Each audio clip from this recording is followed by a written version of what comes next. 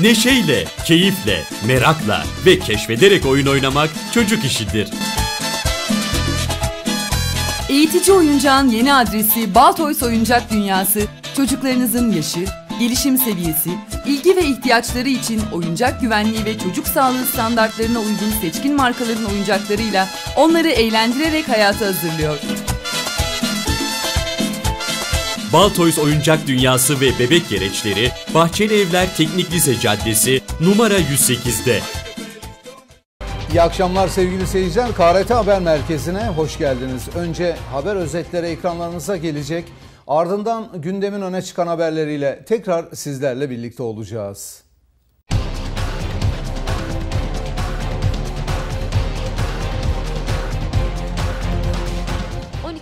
Kuvayi Milliye Günü bir dizi etkinlikle kutlandı. Dağların üstünde yükselen Tunçtan bir heykele benziyordu. İzmir yolunda iki tır çarpıştı. Sıkışan sürücüleri AKS ekipleri kurtardı. Ya onu takmayın kurbanınız olayım ya. Bandırma'da limana gelen kömürün ithalatçı firma araçları tarafından taşınmak istenmesine kamyoncular tepki gösterdi.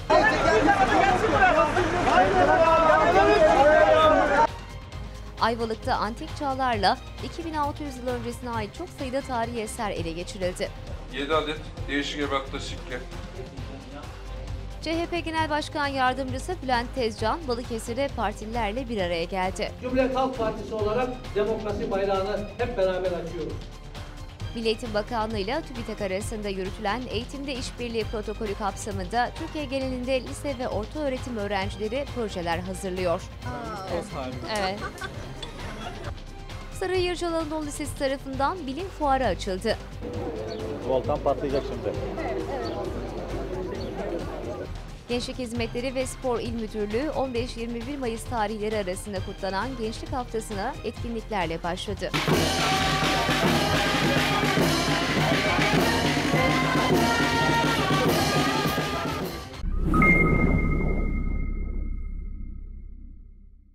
Sevgili seyirciler 12. Kuvayi Milliye Günü bir dizi etkinlikle kutlandı. Balıkesir için çok önemli olan Kuvayi Milliye ruhunun yaşatılmasının amaçlandığı kutlama üst düzeyde katılımla yapıldı. 12. Kuvayi Milliye Günü için kutlamalara Kuvayi Milliye Anıt önünde başlandı. Önce Türkiye haritalı çelenk sunumu yapıldı. Törene Vali Ahmet Turan, Belediye Başkanı İsmail Ok, Garnizon Komutanı Tümgeneral Fahri Kır ve çok sayıda kişi katıldı. Saygı duruşu ve İstiklal Marşı'nın okunmasının ardından şiirler okundu. Bu gelen bandırma vapuru, Mustafa Kemal'in bakışı göklerden duru. Boz çıkarsın Mustafa Kemal. Altın saçları pırıl pırıl uçuşur rüzgarda. Göklere doğru dağların üstünde yükselen Tunçtan bir heykele benziyordu. İl Kültür ve Turizm Müdürü Abdullah Soykan, Kuvayi Milliye Haftası'nın önemine dikkat çeken bir konuşma yaptı. 15 Mayıs 1919'da İzmir işgal haberi Demirci Kaymakamı İbrahim Ethem Bey tarafından Balıkesirlere ulaştırıldığında ve arkasında Balıkesir Belediye Başkanlığı'na gelen telgrafın okunmasıyla zamanın valisi Hilmi Bey'in bugün Kuvayi Milliye Müzesi'nin bahçesinde bulunan okuma yurdunda şehrin ileri gelenlerini toplamasıyla 16 Mayıs 1919'da Kuvayi Milliye ruhunun canlandığı, meşalesinin yakıldığı çok önemli bir ildir Balıkesir. Kuvayi Milliye Anıtı önünde sona eren törenin ardından Devrim Erbil Sanat Galerisi'nde Kuvayi Milliye konulu fotoğraf sergisi gezildi. Bunu bütün dünya böyle bilsin. Evet bu kuruluşu gerçekleşecek şekilde tayinlenmek. Kuvayi Milliye'nin kurucularından Mehmet Bey Mola ve arkadaşları buradaki toplantıya başkanlık etmiş ve Kuvayi Milliye'nin asıl silahlı direnişi ve mücadele kararı bu toplantıda alınmıştır. Kutlama programı çerçevesinde program Salih Ozan Kültür Merkezi'nde okutman Asuman Soykan tarafından verilen konferansla devam etti. Balıkesir 16 Mayıs 1919'dan itibaren Kuvayi Milliye ile adeta özdeşleşmiştir. İstiklale giden yolda adlı konferansa katılımın az olması dikkatlerden kaçmadı. Balıkesir Valiliği tarafından düzenlenen konferansa hoş geldiniz. Daha sonra Alaca Mescit Camii'nde İl Müftüsü Turgut Açari tarafından mevlid okutuldu.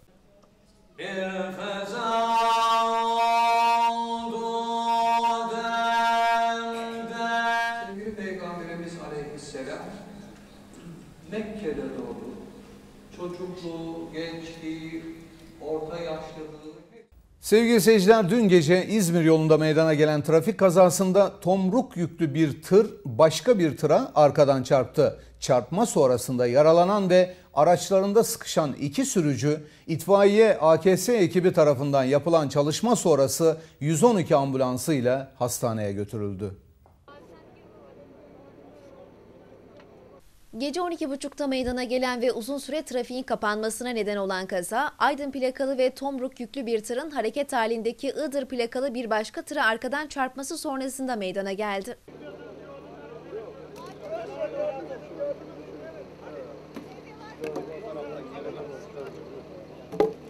Çarpma sonrasında her iki tırda yüklü malzemeler yola yayılınca trafikte geliş ve gidişe kapandı.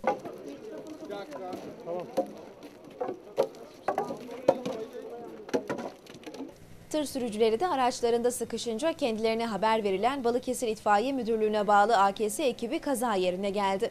Profesyonel bir çalışma yapan AKS ekibi sürücüleri sıkıştığı yerden çıkardı.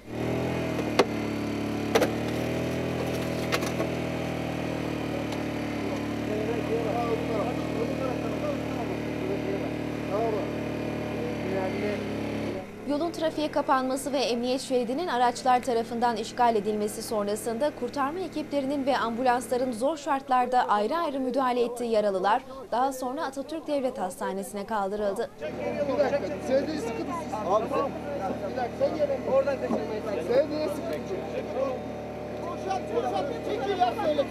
Koşar, koşar. Bu arada yaralıların sağlık görevlilerine müdahale etmeleri de dikkat çekti. Öbür, öbür tarafta. Sıkışık mı olan? Yok o arabanın içinde oturuyor o. Sıkışık değil. Tamam içeride takar. Ya onu takmayın kurbanınız olayım ya. Beni bir oturtturun, bir oturtturun beni kaldırın bir ya. Abicim sen işimize karışmasan biz seni götürsek bir hastaneye tamam mı? Bu şekilde Abi beni lazım. bir doğruldum ben. Abi anlıyorum da benim de ağzım. Abi benim falan önemli değil. Beni bir doğruldum ya. Oynatma bir başını. Ya bir doğrulsam yoracağım ya. abi. Biz de seni Kurbanınız olayım yapmayın ya. Niye doğrulmak istiyorsun? Bana söyle bak. Niye doğrulmak Bir soluk alacağım. He? Ya bir soluk alacağım. Tamam bir dakika. ya.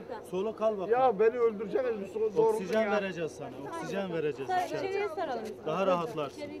Ayrıca sürücülerin yolu trafiğe tıkadığı anlarda Bölge Trafik Şube Müdürü Şerif Nerze bizzat kaza yerine giderek yolun açılması için gayret sarf ederek çalışmaları hızlandırdı.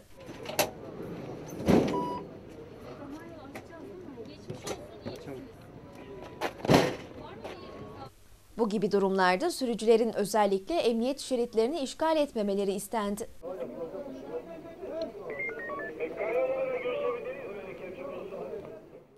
Sevgili seyirciler Bandırma'da limana gelen kömürün ithalatçı firma araçları tarafından taşınmak istenmesine kamyoncular tepki gösterdi. Kamyoncular kendilerine de yük verilmesini isteyerek söz konusu firmanın araçlarının geçişine izin vermedi.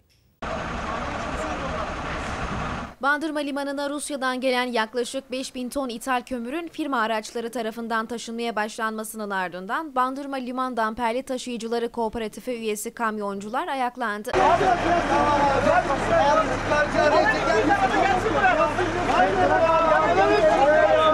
Gerek yok yazar zaten.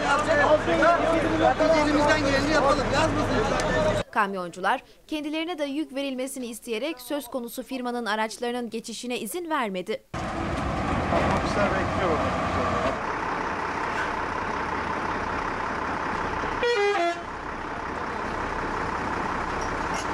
Yaşanan gerginlikte firma araçlarından bazıları taşlandı. Bandırma İlçe Emniyet Müdürlüğü ise bölgeye çevik kuvvet ekiplerini sevk ederek araçların polis eşliğinde limandan çıkmasını sağlamaya çalıştı.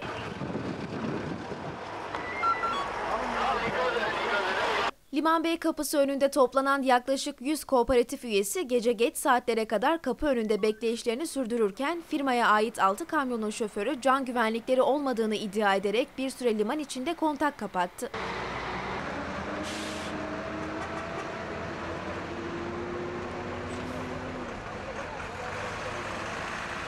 Gece geç saatlerde limandan polis eşliğinde çıkmaya çalışan kamyonların önü tekrar kesildi. Çevik kuvvetle bandırmalı kamyoncular arasında tartışmalar yaşanırken firmanın kömürünü taşıyan kamyonculardan birisi baygınlık geçirdi.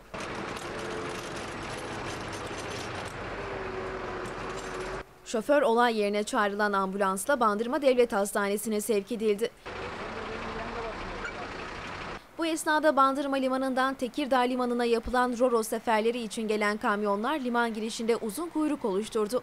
Yüklerini alarak limandan çıkmaya çalışan kamyonların tekrar liman içerisine girmesiyle birlikte tansiyon biraz düştü. Sevkiyat polis kontrolünde gerçekleşirken yol kapatan 24 kamyoncu gözaltına alındı. Sevgili seyirciler Ayvalık'ta antik çağlarla 2600 yıl öncesine ait çok sayıda tarihi eser ele geçirildi. İl Jandarma Komutanlığı'na bağlı ekipler de son günlerde tarihi eser kaçakçılarına göz açtırmıyor. 7 adet değişik ebatta sikke. Bir ihbarı değerlendiren Balıkesir İl Jandarma Komutanlığı'na bağlı ekipler, ET isimli bir şahsın ev ve iş yerlerine yönelik yaptıkları operasyonlarda toplam 600 parça tarihi eser ve bir adet dedektör ele geçirdi.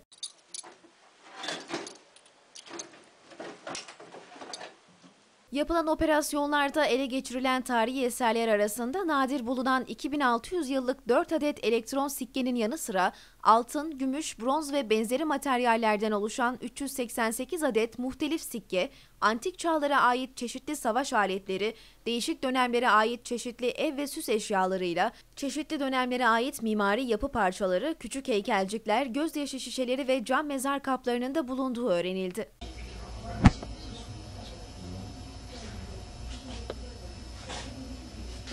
Değerlerinin oldukça yüksek olduğu belirtilen tarihi eserlere Cumhuriyet Başsavcılığı'nın talimatıyla el konuldu. Operasyonda Balıkesir Müze Müdürlüğü'nden de 3 uzmanın tarihi eserlerin tasnifi için destek verdiği kaydedildi. Yani mevduat olarak orada geçen bütün paramın şeyi kontrol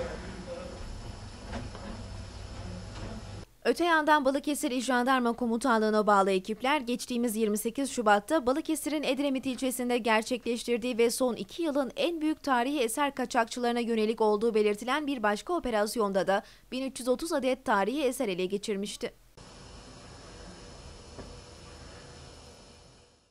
Sevgili seyirciler, CHP Genel Başkan Yardımcısı Bülent Tezcan, Balıkesir'de partililerle bir araya geldi. Tezcan, Reyhanlı'da gerçekleşen saldırıyı değerlendirdikten sonra Silivri'de düşman, İmralı'da pişman uygulaması gerçekleştirildiğini söyledi.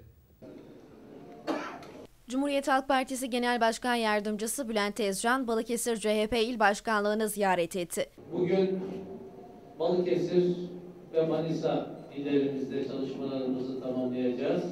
CHP Balıkesir milletvekilleri Haluk Ahmet Gümüş ve Nedret Akova'nın da hazır bulunduğu toplantıda Tezcan Türkiye'nin gündemini değerlendirdi. Değerli arkadaşlar Türkiye ilginç bir dönem yaşıyor. Ülkemiz çok ciddi, sıkıntılı bir süreçten geçiyor. AKP iktidarı sistematik bir şekilde ülkede demokrasiyi tasfiye eden totaliter bir faşizme doğru yürüyen uygulamalarını kararlı bir şekilde devam ettiriyor. Ne yazık ki. 11 yıllık iktidarının bugün geldiği noktada otoriter rejimini yerleştiren AKP bu rejimi yeni bir aşamada totaliter bir faşizme doğru taşıyor. Bülent Tezcan son iki yıldır bayramların iktidarla mücadele içinde kutlandığını belirterek 1 Mayıs kanunla bayram ilan edildi. İnsanlar Taksim'de bayram kutlamak istiyor, 60 bin polisi İstanbul'un noktalarına yığıyor. Toplu taşıma araçlarını bile engelleyen ben istemezsem bayramını kutlayamazsın diyen bir iktidar var dedi. Demokratik mücadele sadece parlamentoda olmaz. Demokratik mücadelenin parlamento kanadını milletvekili arkadaşlarımızla birlikte hep beraber veriyoruz. Ama bunun ötesinde en haklı, en demokratik mücadele yöntemlerinden birisi de meydanlarda, alanlarda halkın iktidara karşı itirazını yüksek sesle ifade edebilmesidir. İşte onun için alanlara iniyoruz.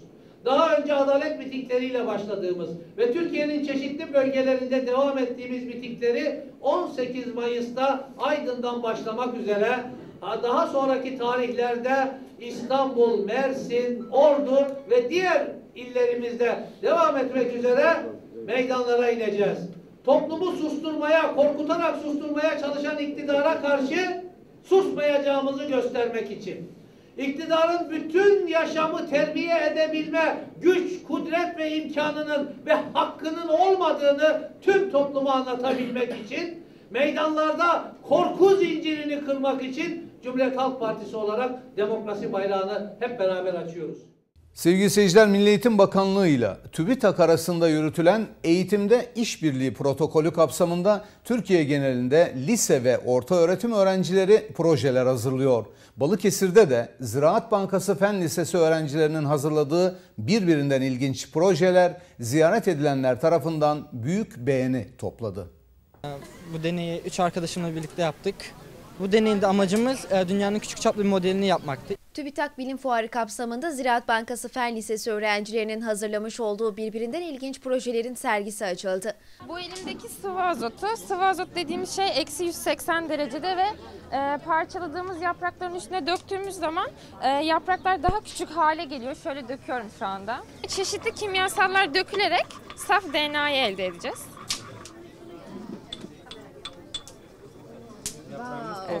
Evet. Vali Ahmet Turhan'ın açılışını yaptığı sergiye çok sayıda davetli katıldı.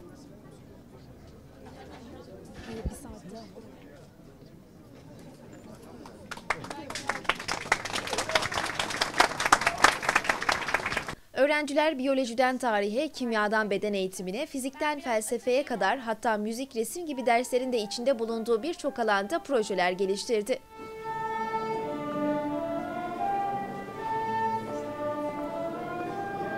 Günlük hayatta da kullanılabilecek pratik çözümler üreten genç beyinler çevre duyarlılığı konusuna da oldukça önem veriyorlar. Proje koordinatörü fizik öğretmeni Erkan Acar ve öğrenciler proje hakkında bilgi verdi. TÜBİTAK'ın e, okullara göndermiş olduğu bir yazıdan sonra okulumuz e, proje çalışması, proje sergisi yapmak için gönüllü oldu. E, Balıkesir'imizde ilk öğretim okulları ve liseler e, birer hafta arayla bu sergilerini e, ortaya koyuyorlar. E, ilk liselerde sergi açan biziz. Bütün okullar değil, TÜBİTAK'a gönüllü olan, gönüllülüğünü beyan eden okullar açıyorlar. Balıkesir'de 5 okul bu işi yapıyor. Öğrencilerin projeleri var ve tamamen kendilerinin hazırladığı projeler Aynen mi? öyle. Evet, aynen öyle. Öğrencilerimiz kendi emeklerini, kendi e, bilgilerini ortaya koyan projeler gerçekleştirdiler. Matematik, fizik, kimya, biyoloji bütün derslerimizin projeleri var. Ben dedim ki acaba bu bitkilere hani bitkilerde daha net görebiliriz belki bunların zararlarını diye düşünüp ve gıda boyasını e, bitkiyi gıda boyasıyla suladım. Bir normal suyla suladım bir de gıda boyasıyla suladım. Zaten farkı hani görebiliyoruz kendimizden. Niye bitkiler ışığa doğru yöneliyor?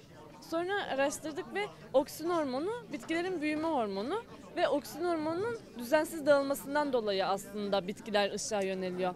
Bunda da ışığa eşit aralıklarla döndüğü için, periyotla döndüğü için ışığı her yönden alıyor ve yönelme olmuyor. Dik bir şekilde büyüdü. Ama bunu da ı, camın önüne koyduk ve hiç ellemedik. O yüzden ışığa doğru yönelim hareketi yaptı. Sevgili seyirciler Sırrı Yırcalı Anadolu Lisesi tarafından bilim fuarı açıldı. Okul bahçesinde açılan bilim fuarında öğrencilerin birbirinden önemli ve ilginç projeleri sergilendi. Sarı Yırcalı Anadolu Lisesi'ndeki bilim fuarının açılışına Vali Yardımcısı Selda Dural, İl Milli Eğitim Müdürü Sabri Caner, Müdür Yardımcısı İbrahim Binay, okul müdürleri, öğretmenler ve öğrenciler katıldı. Yani bu şeyde şey yok, yarışma, yarışma yok. Yarışma modu yok Hep birlikte kurdelinin kesilmesinin ardından Sırrı Yarıcalı Anadolu Lisesi Müdürü Ramazan Konakbay, öğrencilerin çalışmalarının sergilendiği bilim fuarını misafirlere gezdirdi.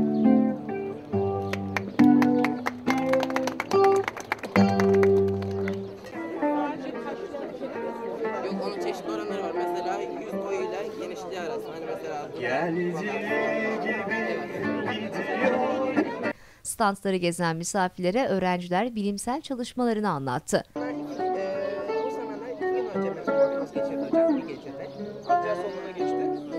Larvalar, larvalar burada. Şöyle. Bunlar da yakında erişiyor. Bir tane daha Sonra böyle ilişkin olunca nasıl oluyor? Böyle, böyle şekilde. Bunlar biraz daha büyüyor hocam. Üzerine tırtıkları falan çıkacak. Balıkesir ve Balıkesir çevresinden 8 tane yeraltı COD'yi aldık. Bunların ağır metal kriterlerine baktık. Ağır metaller vücudumuza gıda, e, içme suyu, hava yoluyla girebilir. Ağır metaller Volkan patlayacak şimdi. Evet, evet.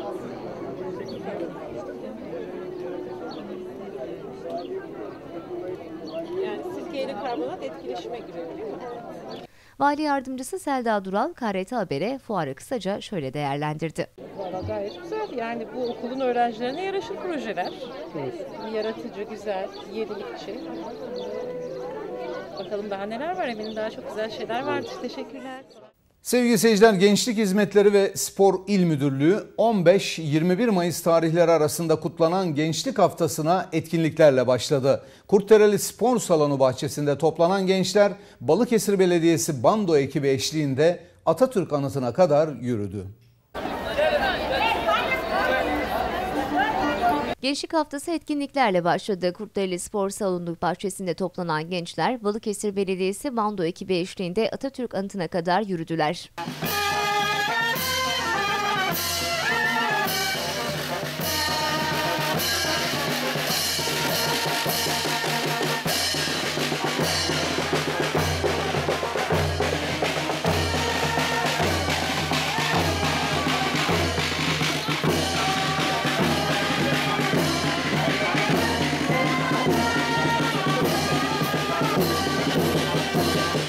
Gençlik Hizmetleri ve Spor İl Müdürü İlhan Aslan'ın Atatürk Anıtı'na çelenk sunumundan sonra Atatürk Stadı'nda gerçekleştirilen gençlik koşusu sonuçlarına göre ödül törenine geçildi.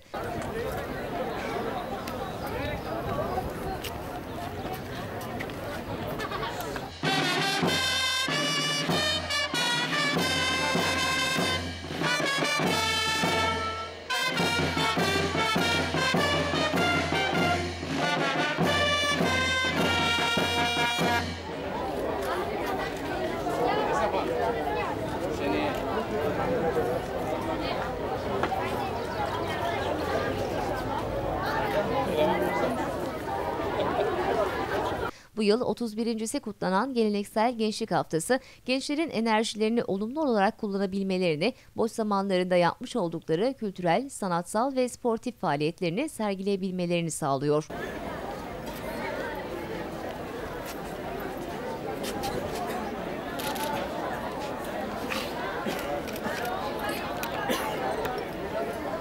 Kutlamalar çeşitli etkinliklerle 21 Mayıs tarihine kadar devam edecek. Bu haberle bültenimizin sonuna geldik. Biraz sonra spor bülteni ve hava durumu ekranlarınıza gelecek. Sizlerle tekrar birlikte oluncaya dek hepinize iyi akşamlar diliyorum efendim. Hoşçakalın.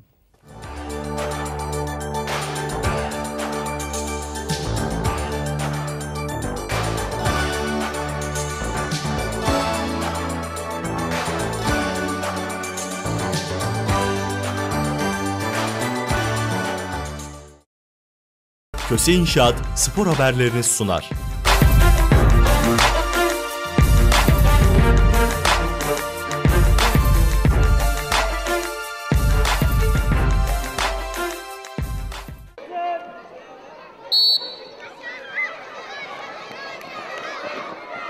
Sayın seyirciler, Özel Fırat İlkokulu öğrencileri arasında atletizm müsabakaları zevkli ve çekişmeli bir şekilde yapıldı.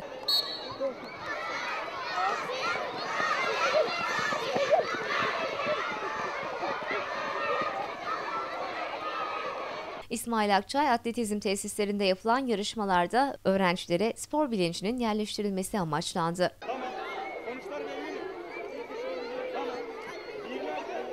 Yarışmalarla ilgili olarak milli maratoncumuz İsmail Akçay KRT Haber'e şu bilgileri verdi. Valla gurur verici bir şey. Şimdi burada Balıkesir'deki küçük çocukların özellikle Fırat İlk Öğretim Okulu'nun öğrenciler burada hem çocukların eğlenip hem sporu tanıtmak maksadıyla bir organizasyon yapılmış, yaptılar okul, okulları. Ee, çocuklar için güzel hem vakit geçiriyor hem spor yapmış oluyorlar hem de öğrenmiş oluyorlar. Koşular, atma, atlamaları öğrenmiş oluyorlar. Güzel bir şey. Tabii ben de gurur duyuyorum. Benim adımın verilen bir statta böyle bir organizasyon yapılması güzel bir şey. Türkiye'de genellikle yaşları genellikle büyük. Ben mesela 20 yaşında spora başladım. Geç başladım. E, Böyle bir ilkokulda spora başlamak, öğrenmek ilerisi için daha verimli, daha faydalı olduğuna inanıyorum. Çok çekişmeli ve zevkli geçen atletizm yarışmaları ilgiyle izlendi. Yarışmalarda derece yapanlara madalyaları okul müdürü Ramazan Bayram, devlet hastanesi yöneticisi Tezcan Sezgin ve öğretmenler verdi. Sayın, hepsi mi altın bunlar? Tebrik ediyorum. Başarınız devam diliyorum.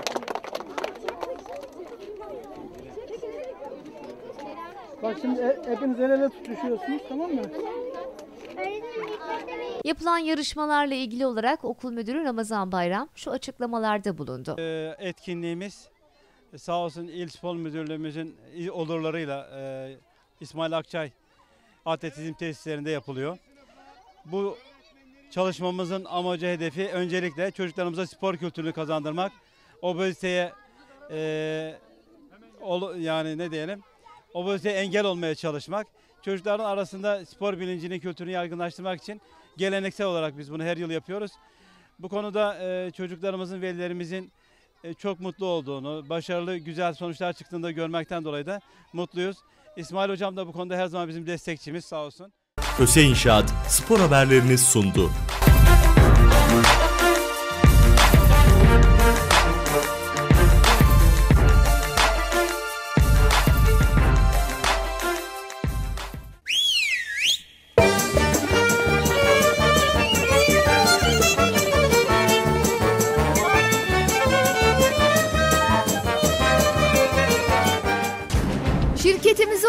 Olan ilgi ve güvenceyle iş kapasitemizi ve iş kalitemizi günden güne artırıyoruz. Kalite, konfor ve güvenlik ayrıcalığımızla yaşam ufkunuza sınırsız boyut katıyoruz. İleride İnşaat Limited şirketi Galip Ertekin.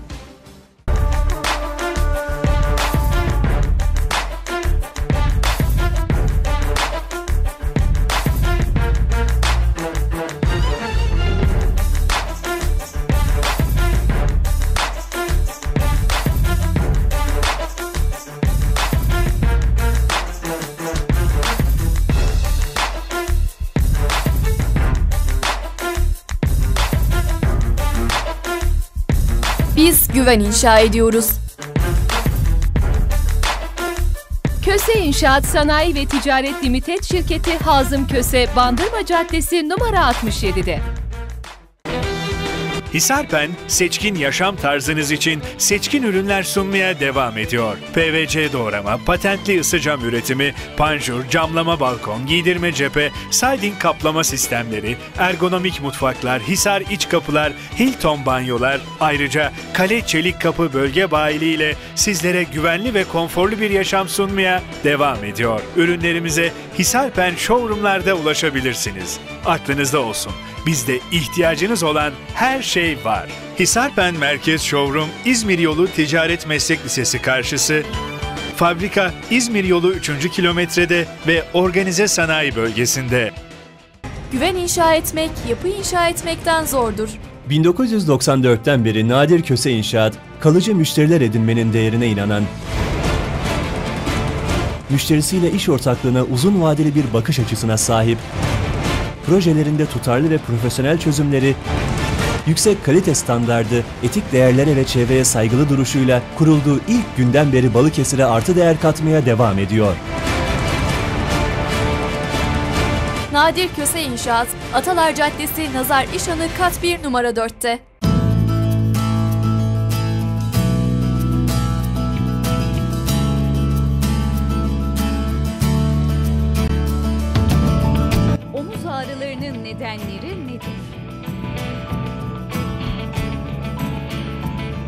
Omuzda bozulmalar e, olması, kireçlenmelere dönmesi, daha sonra da e, hastanın belki fark etmeyeceği bir hareketle e, omuzda tendinitin oluşması şeklinde oluyor. Bunun dışında omuzun kendisi de ait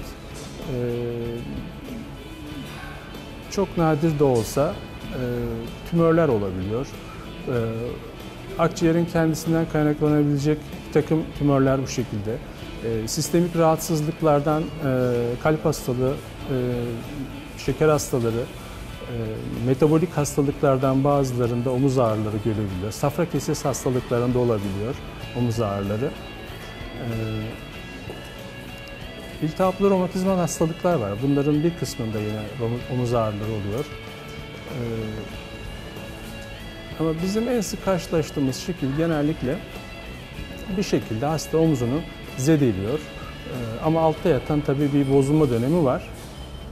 Ee, tendinit oluşuyor. Bazen e, sıkışma sendromları, bazen e, kesicik iltihapları oluşuyor. Ee, geldiklerinde e, muayene bulgularından sonra hastalarda röntgen, MR veya bazen tomografi veya sistemik hastalık olup olmadığına yönelik bir takım romatizma testleri bunlarla teşhiste netleşiyoruz.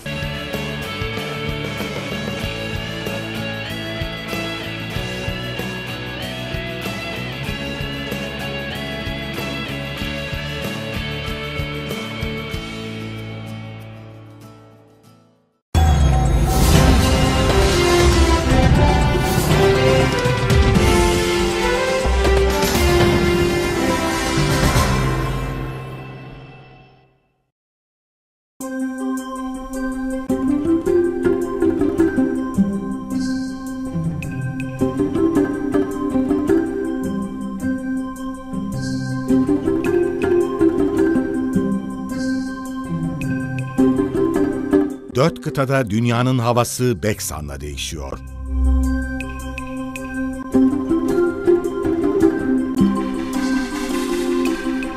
Beksan hava durumunu sunar. Sayın seyirciler, il merkezimizde ve bazı ilçelerimizde hava durumu tahmini olarak şöyle olacak. Balıkesir kent merkezi yarın çok bulutlu, en yüksek 29, en düşük 13 derece. Cumartesi günü parçalı bulutlu, en yüksek 31, en düşük 13 derece. Pazar günü parçalı bulutlu, en yüksek 28, en düşük 12 derece. Pazartesi günü parçalı bulutlu, en yüksek 29, en düşük 12 derece olması bekleniyor. Edremit yarın çok bulutlu, en yüksek 29, en düşük 16 derece. Cumartesi günü parçalı bulutlu, en yüksek 30, en düşük 16 derece. Pazar günü parçalı bulutlu, en yüksek 29, en düşük 16 derece. Pazartesi günü parçalı bulutlu, en yüksek 30, en düşük 16 derece olması bekleniyor. Dursun Bey yarın parçalı bulutlu, en yüksek 25, en düşük 12 derece. Cumartesi günü çok bulutlu, en yüksek 27, en düşük 12 derece. Pazar günü çok bulutlu, en yüksek 28, en düşük 13 derece. Pazartesi günü parçalı bulutlu, en yüksek 27, en düşük 12 derece olması bekleniyor. Bandırma yarın parçalı bulutlu, en yüksek 24, en düşük 12 derece. Cumartesi günü çok bulutlu, en yüksek 27, en düşük 14 derece. Pazar günü parçalı bulutlu, en yüksek 26, en düşük 16 derece. Pazartesi günü parçalı bulutlu, en yüksek 26, en düşük 16 derece olması bekleniyor. Beksan Çivi hava durumunu sundu.